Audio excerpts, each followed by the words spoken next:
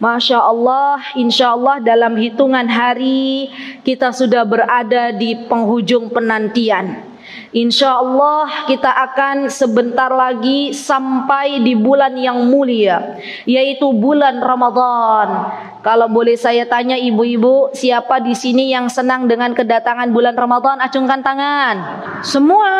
Masya Allah. Kira-kira kenapa bu? Kok senang datang bulan Ramadan? Coba kenapa kira-kira? Karena bulan penuh berkah, penuh rahmat. Ada lagi? Maghfirah, ampunan.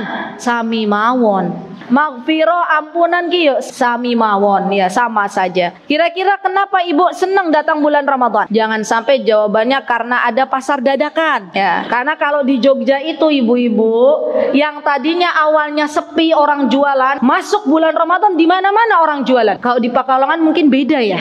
Oh sami mawon, masya Allah. Nah kita sebagai orang Islam, kita sebagai seorang muslimah hendaklah menyambut Ramadan dengan penuh sukacita. Subhanallah. Karena kita tahu ibu-ibu yang dimuliakan oleh Allah, bulan Ramadan di antaranya adalah bulan diturunkannya Al-Quranul Karim. Di dalam bulan Ramadan Allah menurunkan Al-Quran. Allah Subhanahu wa taala berfirman, "A'udzu billahi minasyaitonir rajim." Syahrul Ramadan رمضان الذي أنزل فيه القرآن kata Allah bulan Ramadan itu bulan diturunkannya Al-Quran dan Allah jadikan mulia apa-apa yang berkaitan dengan Al-Quran Subhanallah. Coba kita perhatikan. Bulan Ramadan kenapa Allah jadikan mulia? Di antaranya karena diturunkannya Al-Qur'anul Karim di bulan Ramadan. Makkatul Mukarramah kenapa menjadi tempat yang Allah cintai di muka bumi ini? Karena di kota Makkah diturunkan Al-Qur'an oleh Allah Subhanahu wa taala. Nabi kita Muhammad sallallahu alaihi wasallam adalah salah satu nabi yang dibanggakan oleh Allah Subhanahu wa taala. Karena di antaranya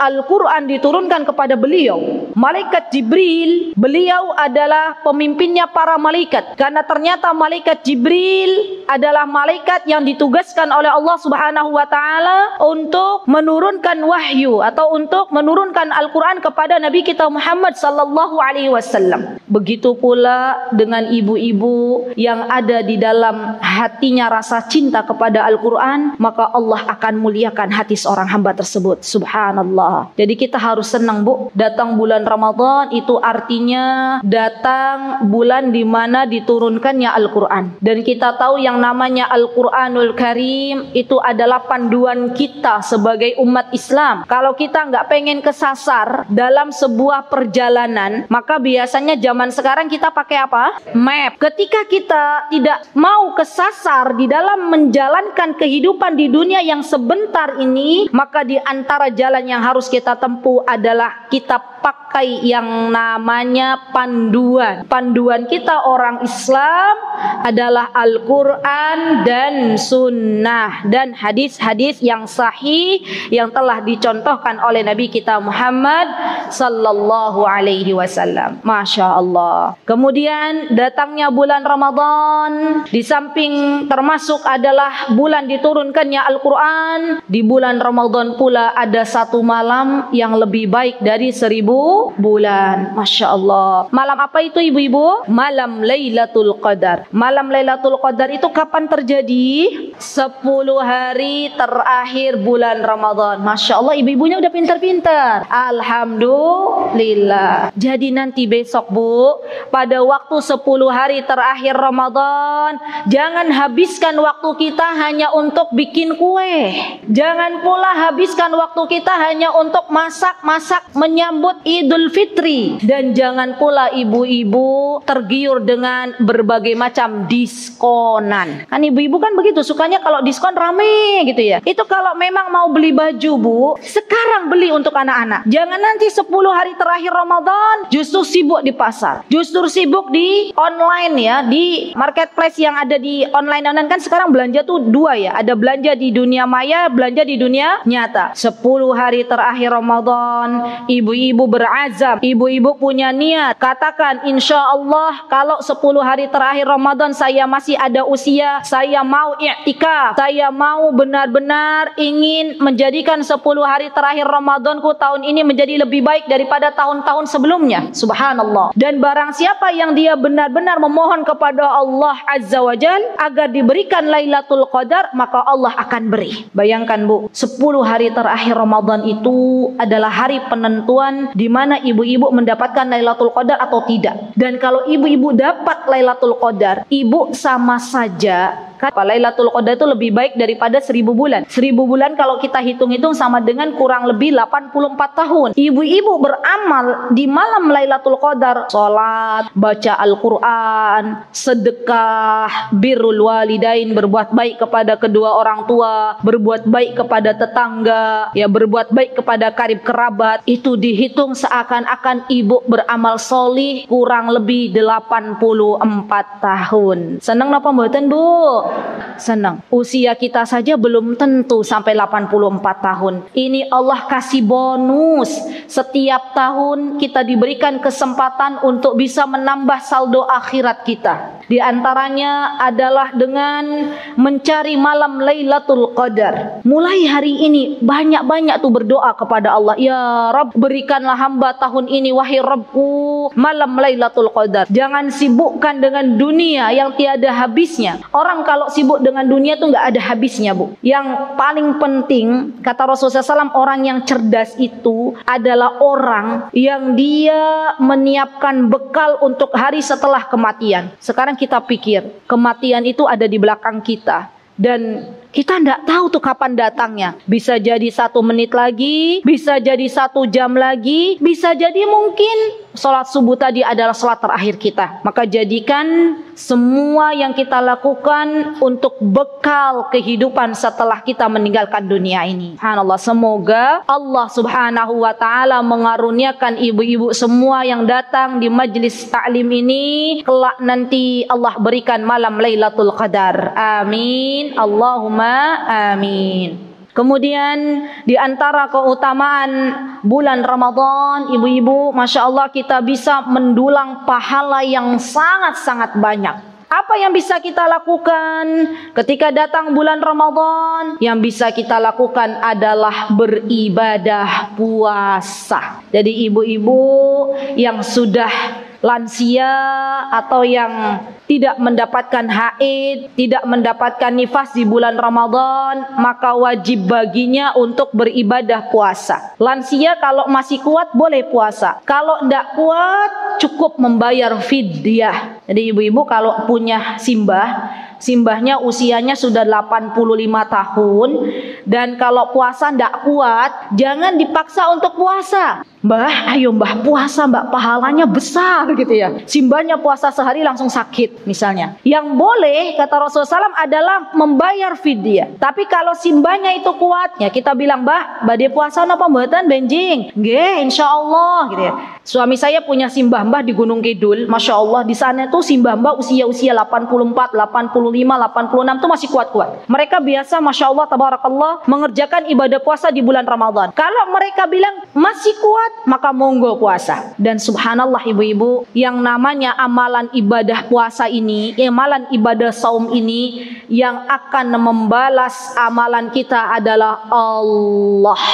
Jadi Barang siapa yang dia beribadah puasa, melaksanakan ibadah puasa dengan niat mencari ridha Allah Azza wa Jal, maka Allah lah yang akan membalas ibadah puasa kita tanpa batas. Lihat, kalau kita sedekah, Allah kasih kita berapa pahala? Di dalam Al-Qur'an ya dikalikan 7 700 kali lipat. Kalau kita baca Al-Qur'an, satu huruf dikalikan 10 kebaikan. Spesial untuk puasa, Bu Allah yang akan membalas. Kata Allah Subhanahu wa taala dalam hadis qudsi, "Wa ana ajzi bih." Aku yang akan membalas ibadah orang-orang yang melaksanakan saum di bulan Ramadan ataupun di hari-hari yang lainnya. Maka bagi kita semuanya yang memiliki kemampuan untuk beribadah puasa, beribadah puasalah nanti ketika datang bulan Ramadan. Jangan sampai kita tinggalkan karena itu merupakan rukun Islam. Rukun Islam wonten pinten Bu? Lima. Di antaranya adalah beribadah puasa di bulan Ramadan. Bahkan ibu, kalau ibu-ibu di dunia ini sholat lima waktu nggak ditinggal, ibadah bulan Ramadan puasanya nggak ditinggal. Ibu-ibu berusaha untuk menjaga kehormatan ibu-ibu, menjaga kemaluan ibu-ibu. Tidak diberikan kecuali kepada suaminya. Dan yang keempat, ibu-ibu mentaati suami kata Rasulullah wasallam, maka baginya besok di akhirat kesempatan untuk wanita ini bisa masuk dari pintu surga mana pun yang ia kehendaki. Allahu akbar. Saya mau tanya, siapa di antara ibu-ibu di sini yang cita-citanya besok mau masuk surga acungkan tangan? Masya Allah, semua ya. Nah, masuk surganya Allah itu ada 8 pintu. Kita termasuk dari wanita yang mau masuk dari pintu surga mana? Kalau ibu-ibu di dunia adalah orang yang rajin puasa, masuk dari pintu ar Tapi kalau ibu-ibu puasa Senin Kamis boten, sholat malam boten, ahli sedekah juga tidak, maka ada kesempatan empat syarat ini boleh kita lakukan. Rasulullah SAW mengatakan, "Idza shallatil mar'atu khamsaha." Kalau ibu-ibu nih khusus spesial untuk kaum wanita al-mar'ah salat lima waktu. Subuhnya nggak ditinggal, duhurnya nggak ditinggal, asarnya nggak ditinggal, maghribnya nggak ditinggal, isyanya nggak ditinggal, kemudian wasamat syahroha dan dia puasa bulan Ramadan. Wahafidhat farjaha, dia jaga kemaluannya, tidak berzina, tidak selingkuh. Wa ata'at ba'laha dan dia pun taat kepada suaminya. Wa qila kata Rasulullah SAW katakan kepada perempuan ini udkhulil jannati masuklah ke dalam surga min ayyi abwabil jannati syi'ti. Dari pintu mana pun yang engkau kehendaki. Ibu bisa bayangin enggak besok nih bu? Kalau ibu-ibu melaksanakan empat perkara ini besok kita berada di hadapan Allah Allah akan mempersilahkan. Kalau seumpamanya di masjid ini ada misalnya banyak pintu ya. Kemudian kita diundang untuk masuk dari pintu mana pun yang kita kehendaki kita kira-kira senang betul? Senang. Besok Allah akan mempersilahkan wanita-wanita yang dia puasa di bulan Ramadan. Jaga salat lima waktu. Taat suaminya. Taati suaminya. Jaga kemaluannya. Besok Allah persilahkan untuk bisa masuk dari pintu surga mana pun yang dikehendaki. Allahu Akbar. Kira-kira dari empat syarat itu yang paling berat nopo bu? Taat kepada suami. Berarti puasa di bulan Ramadan insya Allah ringan ge? Alhamdulillah. Seperti tadi Kak Ica katakan bahwasanya yang namanya puasa itu juga bukan hanya menahan lapar dan minum dan dahaga, tapi lebih dari itu menahan mulut kita untuk tidak ghibah, untuk tidak gosip. Ya, masya Allah. Jadi sejatinya ibu-ibu besok pada bulan Ramadan kita harus beribadah puasa. Baik. Kemudian ada pahala apa lagi yang bisa kita capai, kita bisa dapatkan di bulan Ramadan. Di antara pahala yang Allah akan berikan kepada kita adalah apabila kita memberikan makan kepada orang yang berbuka puasa. Subhanallah. Kalau ibu-ibu di sini, masya Allah ada niat ya. Ya Allah, saya besok pas masuk bulan Ramadan mau menyediakan makan untuk orang yang berbuka puasa. Boleh orang yang akan berbuka puasanya diundang ke rumah kita atau kita boleh juga membuat makanan yang kita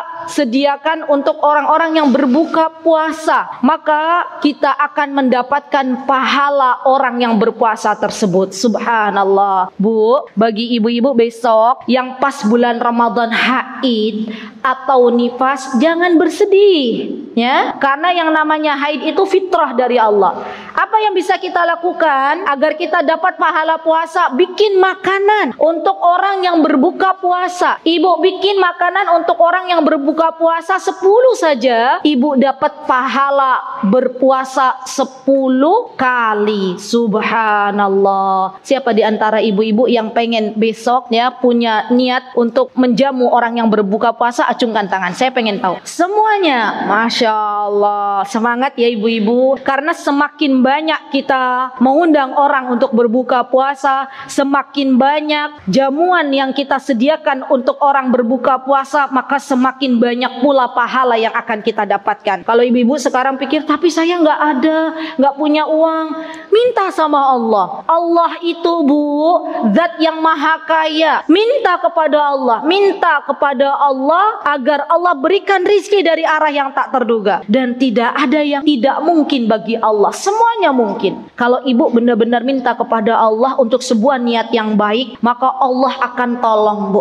Ya subhanallah. Nah itu di antara yang bisa kita lakukan di bulan Ramadan agar kita bisa mendulang pahala yang begitu banyak subhanallah. Dan di bulan Ramadan juga ibu-ibu bisa mendulang pahala dari yang namanya ibadah salat tarawih subhanallah. Kalau ibu-ibu ibadah salat tarawih sampai selesai witir bersama imam, ibu dapat pahalanya seperti ibu sholat semalam suntuk. Subhanallah. Jadi kalau ibu-ibu tarawih nih ya sholat, terus witir bersama imam. Jangan sholatnya belum selesai, ibu-ibu udah duluan. Kenapa bu duluan? Nonton sinetron.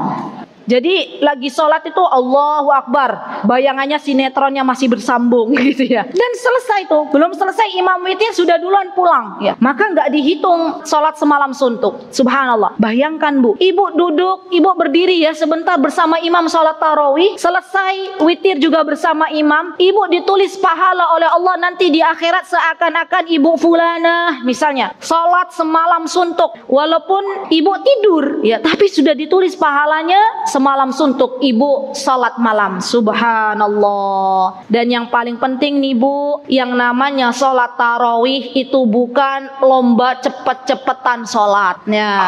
Jadi hati-hati ketika kita salat tarawih jaga tumak ninah kita. Apa itu tumak ninah? Tumak ninah itu berhenti sejenak. Jangan terburu-buru. Karena yang namanya tumak ninah ini adalah rukun rukun sholat. Dan biasanya banyak terjadi di Indonesia yang tercinta ini orang sholat tarawih cepet-cepetan. Ada ibu sholat di masjid ya di masjid A misalnya. Kok imamnya lama ya?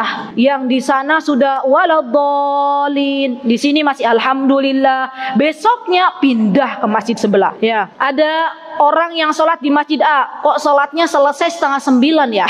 ya di masjid sebelah sholatnya jam 8 kurang 15 sudah selesai misalnya. Maka biasanya ibu-ibu tuh pindah ke masjid yang lebih cepat. Subhanallah. Padahal yang cepat itu nggak ada tumak ninahnya. Adanya sholatnya Allahu Akbar. Sami Allahu liman hamidah. Allahu Akbar. Allahu Akbar. Sholat yang begitu tuh capek bu. Nggak dapat khusyunya iya nggak? Pernah nggak sholat begitu? Ikut dengan imam yang sholatnya tuh cepet banget. Yang ada habis sholat ngos-ngosan. Yang ada habis sholat ibu cari minum. Mana haus? Ya. Tapi kalau sholat tarawihnya khusyuk imamnya sampai keluar air matanya saking mentadaburi ayat demi ayat ibu-ibu ikut keluar air mata tapi bukan paham maknanya karena baper imamnya nangis. Ada nggak yang begitu? Ada ya. Lagi sholat imamnya tuh sampai imamnya bilang gini imamnya ihdina siratal mustaqim. Nangis imamnya karena paham tuh maknanya. Doa ya Allah tunjukkan kepada jalan yang lurus. Terus imamnya sampai nangis baca surat, imamnya nangis, ibu yang di belakang pada terus uh, ngobrol sama temannya, kenapa kamu tadi nangis? Ikutan imam nangis.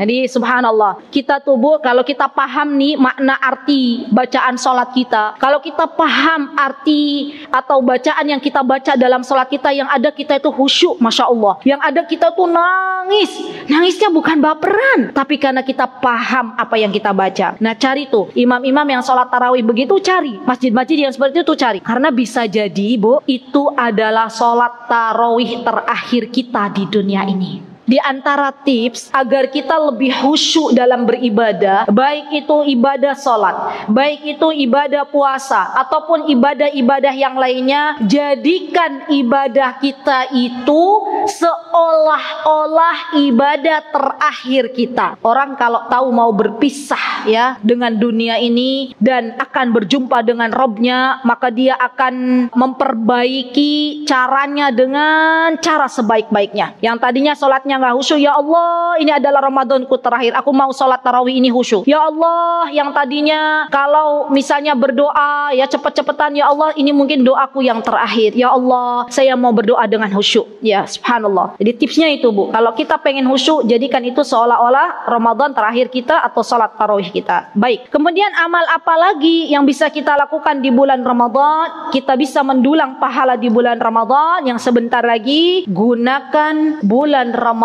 itu untuk banyak-banyak membaca Al-Quran. Masya Allah Bu. Siapa yang tahu Imam Syafi'i acungkan tangan? Pernah dengar, tapi nggak pernah jumpa ya Bu ya? Ah, siapa di sini yang fikihnya ikut madhab Imam Syafi'i acungkan tangan? Semuanya, Masya Allah. Siapa di sini yang cinta kepada Imam Syafi'i acungkan tangan? Semua. Baik. Kalau semuanya mengaku cinta kepada Imam Syafi'i, saya pun cinta kepada Imam Syafi'i. Saya beritahu amalannya Imam Syafi'i bulan Ramadan ya Bu, dalam membaca Al-Quran. Imam Syafi'i itu Bu, kalau bulan Ramadan baca Al-Qurannya satu hari dua kali hatam. Dari Al-Baqarah sampai An-Nas baca, setelah selesai balik lagi. Dan boleh kata Rasulullah SAW, kita hatam sebelum tiga hari spesial untuk bulan Ramadan. Pertanyaan saya,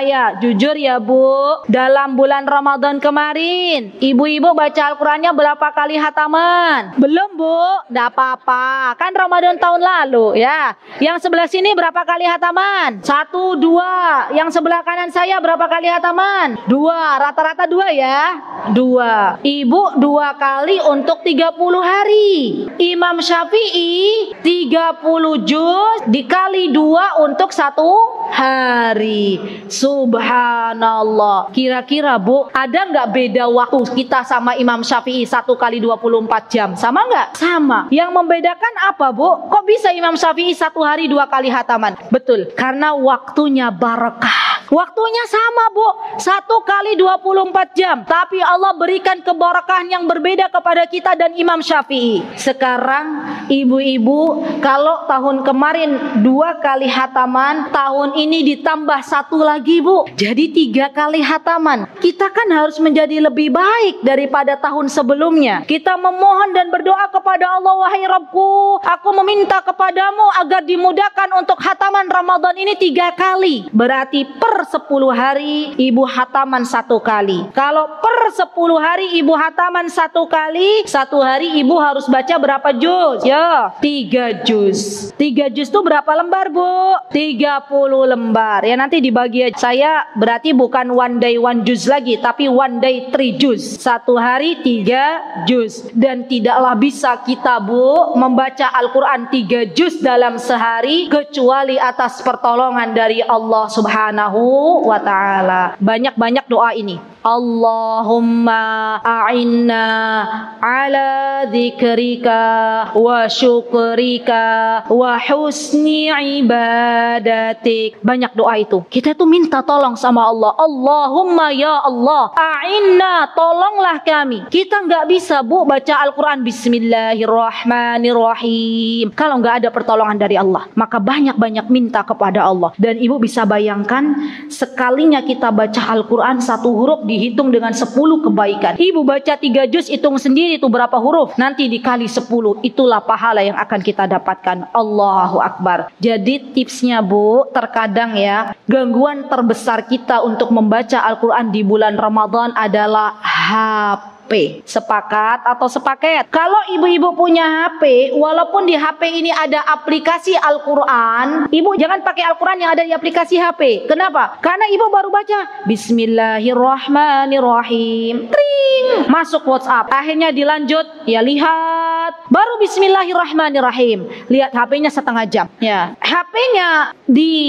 off-kan dulu, HP-nya ditaruh dulu, kita ambil mushaf Al-Quran, kita baca. Masya Masya Allah. Satu juz itu insya Allah Bu bisa kita gunakan kurang lebih satu jam saja. Ya, satu juz itu berapa jam? Satu jam. Berarti tiga juz tiga jam. Satu kali 24 yang Allah berikan tiga jam kita baca Al-Quran setiap hari. Masya Allah. Semoga Allah mudahkan. Kalau ada di antara kita yang baru baca Bismillahirrahmanirrahim. Alif Lam Mim. Terus ngantuk cetuk gitu ya. Ada nggak yang begitu? Ada. Wudhu. Ya. Jangan sudah ngantuk langsung selonjoran bawa bantal tidur ya. Wudhu dan minta kepada Allah ya Allah apalagi kalau misalnya baru baca satu halaman rasanya sesek hatinya rasanya bosan baca Al-Quran. Berarti ada apa dengan hati kita? Karena kata Utsman bin Affan radhiyallahu an jikalau hati kita bersih bu maka nggak ada yang namanya bosan dari membaca Al-Quran. Yang ada tuh pengen lagi pengen lagi dan pengen lagi. Ya jadi berjuang bulan Ramadan ini kita perbanyak membaca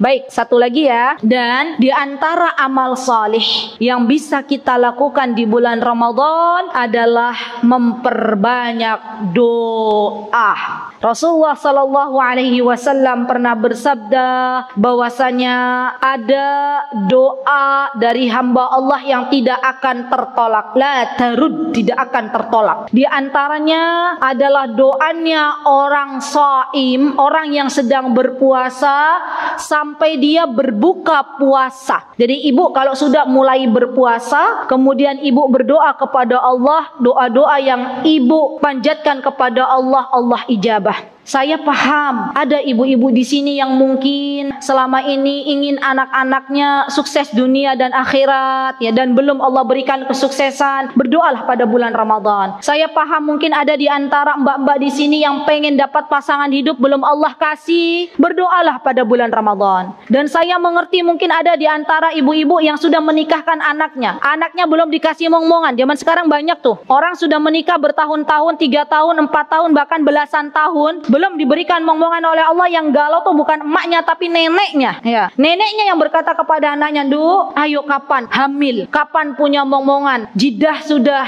kangen untuk mong-mong cucu gitu ya. Kata anaknya bu saya juga mau. Tapi kan yang namanya anak itu pemberian dari Allah. Maka jidahnya neneknya bantu doa. Ya Allah berikanlah keturunan untuk anakku yang sudah lama menikah. Berikanlah momongan untuk anakku yang sudah lama menikah. Masya Allah. Nanti di bulan Ramadan. Dan saya paham mungkin ada di antara ibu-ibu yang sekarang misalnya punya suami, suaminya belum mau ke masjid, suaminya belum sayang, suaminya kalau diajak untuk menuntut ilmu belum mau masih ogah-ogahan. Minta kepada Allah di bulan Ramadan ini, berdoa kepada Allah. Atau mungkin di antara ibu-ibu nih ada yang berdagang atau bisnis, bisnisnya belum lancar, minta kepada Allah, bukan minta kepada orang pintar sekalipun. Karena sejatinya yang memberikan rizki adalah adalah Allah Subhanahu wa taala. Ibu yang dimuliakan oleh Allah Subhanahu wa taala, perbanyak meminta kepada Allah karena Allah itu suka kalau kita banyak meminta. Beda kalau kita minta kepada manusia. Ibu, kira-kira seneng nggak dikit-dikit dimintain tolong sama manusia? Satu jam dia minta tolong ke kita. Belum satu jam minta tolong lagi ke kita. Terus minta tolong tuh sehari ada sekitar 20 kali minta tolong. Ibu-ibu seneng nggak dimintain tolong banyak sekali oleh orang dengan satu orang. Hah? Bosen betul, tapi tidak dengan Allah. Semakin banyak kita meminta Allah semakin senang dan Allah Azza wa Jalla akan mencatat doa-doa kita dengan ibadah, dengan pahala. Orang baru berdoa saja, Allahumma, baru berdoa ya, Allahumma misalnya. Itu sudah dicatat pahala, pahala dari doa. Maka jangan pernah kita itu putus asa ketika doa kita belum diijabah oleh Allah Subhanahu wa taala. Dengan kita berdoa saja kita sudah ditulis pahala oleh Allah Subhanahu wa taala. Dan ketahuilah wahai ibu-ibu yang saya cintai karena Allah, kalau ibu-ibu selama ini bermunajat kepada Allah, meminta kepada Allah, Allah belum ijabah, doa ibu tidak sia-sia. Kata Imam Ibnul Qayyim, seorang hamba kalau dia berdoa dan doanya belum diijabah, artinya doanya sedang Allah simpan nanti di akhirat. Artinya dengan doa yang dipanjatkan itu Allah jauhkan dari mara bahaya yang ada di dunia ini. Subhanallah. Sekali lagi, perbanyak untuk berdoa di bulan Ramadan karena bulan Ramadan adalah bulan di mana seseorang yang dia beribadah saum diijabah doa-doanya. Masya Allah. Ibu-ibu yang dimuliakan oleh Allah, kalau ada di antara ibu-ibu nih dimudahkan oleh Allah di bulan Ramadan besok untuk pergi umroh. Ada waktu, ada uang, ada kesempatan untuk beribadah umroh bulan Ramadan, maka berangkatlah. Karena yang namanya umroh di bulan Ramadan tuh beda dengan umroh di bulan-bulan lainnya. Umroh di bulan Ramadan tuh pahalanya sama dengan haji bersama Nabi. Dan subhanallah, bulan Ramadan tahun ini spesial daripada bulan-bulan yang kemarin. Kalau bulan yang kemarin kan umrah ditutup. Sekarang sudah dibuka tanpa karantina, tanpa banyak syarat-syarat, maka berangkatlah subhanallah. Dan saya berdoa di pagi hari yang mulia ini, semoga Allah subhanahu wa taala memberikan kemudahan bagi ibu-ibu semua yang ada di sini yang belum pernah ke Masjidil Haram, semoga Allah mudahkan untuk ke sana. Yang belum pernah ke Masjid Nabawi, semoga Allah mudahkan jalannya ke sana. Dan jika ada kesempatan di depan mata ibu untuk beribadah umroh atau beribadah haji jangan sampai kita tunda. Karena kesempatan belum tentu datang untuk kedua kalinya. Yang sudah pernah ke sana semoga Allah mudahkan kembali untuk ke sana. Orang-orang yang sudah ke sana tuh Bu saya paham betul. Pasti di antara mereka itu ada rindu yang sangat luar biasa untuk bisa duduk di Masjidil Haram. Gimana Bu? Ada rindu yang sangat luar biasa untuk bisa toa untuk bisa sa'i dari marwah ke sofa, untuk bisa membaca Al-Quran, untuk bisa apalagi kalau yang sudah pernah iktikaf di Masjidil Haram, ya, memenuhi malam harinya dengan berdiri bersama imam untuk sholat tarawih. Dan kalau ibu-ibu tahu di sana itu sholat tarawihnya kalau bulan Ramadan, terutama akhir 10 hari terakhir Ramadan, itu terus ya langsungan. Bahkan ada dua imam biasanya. Dan subhanallah, kalau ibu-ibu lihat di kota Makkah dan di Timur Tengah pada umumnya, malam bulan Ramadan itu seperti siang. Siangnya bulan Ramadan seperti malam. Artinya apa? Malam hari mereka bangun, ya berlomba-lomba datang ke masjid beribadah. Siang harinya mereka pada di rumah masing-masing. Jadi kalau siang hari di bulan Ramadan di Timur Tengah tuh sepi nyenyep. Tahu sepi nyenyep nggak bu? Jarang orang di jalanan karena mereka ke rumah masing-masing. Malam hari bulan Ramadan baru rame dan subhanallah ramenya tuh mau jam satu malam, mau jam 12 malam, mau jam 2 malam rame terus. Subhanallah ya. Semoga kita semuanya deh ya. Mudah-mudahan Allah mudahkan untuk bisa ke sana. Amin. Allahumma amin. Baik ibu-ibu, itu yang bisa saya sampaikan. Kesempurnaan hanya milik Allah Subhanahu wa taala dan kekurangan pastinya milik saya pribadi. Saya mohon maaf yang sebesar-besarnya. Aku qauli hadza wastaghfirullah li wa lakum wa akhiru da'wana anil hamdulillahi rabbil alamin. Wassalamualaikum warahmatullahi wabarakatuh.